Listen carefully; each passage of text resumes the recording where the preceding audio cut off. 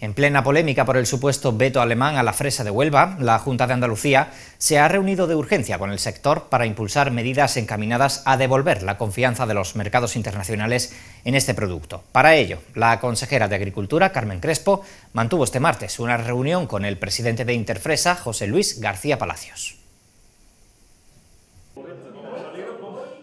La consejera de Agricultura, Pesca, Agua y Desarrollo Rural de la Junta de Andalucía, Carmen Crespo, y el presidente de Interfresa, José Luis García Palacios, han mantenido un encuentro de trabajo para establecer la hoja de ruta que guíe la puesta en marcha de medidas dirigidas a afianzar la confianza de los mercados internacionales en el sector fresero andaluz, especialmente en el caso de Alemania. Uno de los objetivos que nos hemos marcado en la reunión, precisamente esas figuras de calidad que permitan identificar por parte de Europa lo que son las fresas y los frutos rojos de Huelva para el futuro. Es una fórmula para evitar este tipo de campaña que son absolutamente denigrantes. Así, desde el gobierno andaluz se está manteniendo contacto telefónico con las cadenas de distribución más importantes de los principales mercados de destino de la fresa de Andalucía. En concreto, esta semana tiene previsto reunirse con cadenas de distribución alemanas. En relación a este tema, el Partido Popular ha señalado al presidente del gobierno, Pedro Sánchez, por su boicot, según afirman a los productos andaluces. Le pido que cese en ese boicot